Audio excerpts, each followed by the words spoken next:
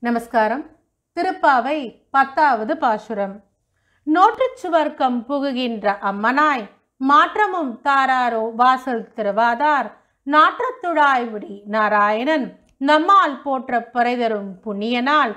பன்றொரு நாள் கூற்றத்தின் வாழ்விழிந்த கும்பகரணனும் தோற்றுமுனக்கே பெருந்துயில்தான் தந்தானோ.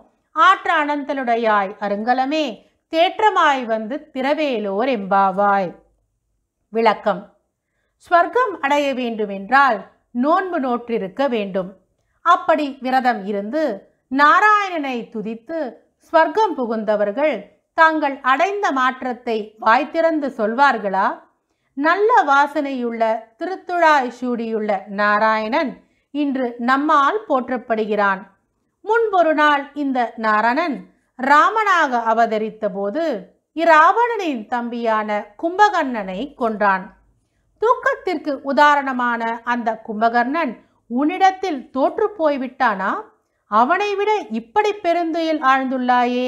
நல்ல அணிகலன் போன்றவளே பல ஆற்றல்கள் கொண்டவளே தயங்காமல் வந்து கதவை திறந்துவிடு என்கிறாள் ஆண்டாள். இதுவே இந்த பத்தாவது பாசுரத்தின் விளக்கமாகும். இந்த பாசுரத்தை சேவிப்பவர்களுக்கு இறையருள் கிட்டும். மீண்டும் ஒருமுறை இந்த பாசுரத்தை சேர்ந்து சேவிப்போமா?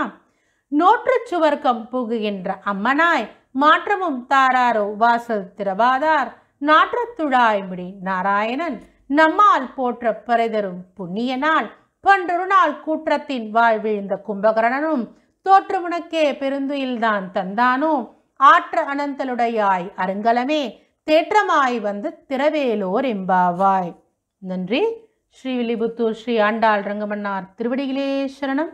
కోదా కాంతస్మరణం. జై జై రంగరంగా.